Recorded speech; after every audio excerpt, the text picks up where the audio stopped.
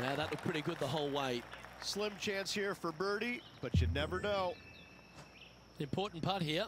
They make it. They're into the top five. Looking really good. And down she goes. The long range bomb. I will take that also into the top five now. Oh, I'd like to have one more.